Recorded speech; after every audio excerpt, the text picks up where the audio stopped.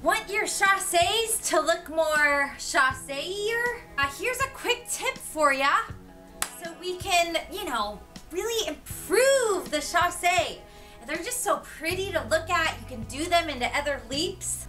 So the tip is to pull your feet together at the top of the height of your chassé.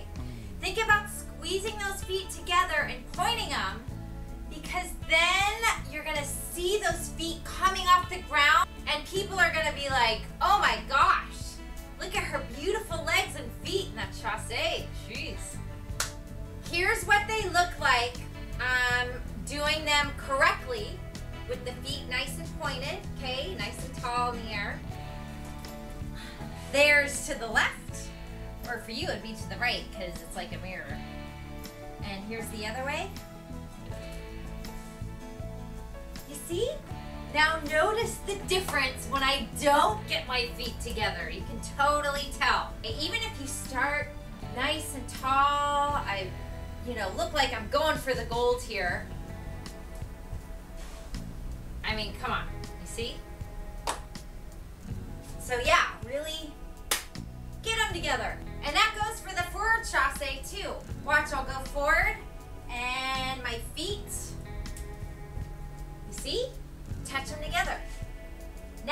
do the same thing forward and they don't go together, see? You got it, you got it. And in your floor routine, I know a lot of you have chasses in the floor routine. I've seen this with some of the girls I coach. I'm like, oh my gosh, get those. I want to have like a megaphone. Hey, get them together. Three cheers for beautiful chasses. Isn't it a nice word too? It sounds lovely. Thank you so much for checking out the tip, everyone. If you want to learn other tricks or flexibility, some flips, you can go to my channel and let's learn away. Okay, here's your end of the workout trick. Thanks again.